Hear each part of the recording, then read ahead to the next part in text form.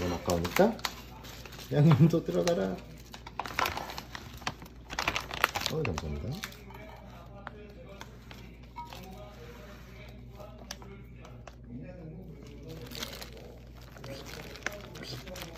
아휴 이건 뭐 대충 이제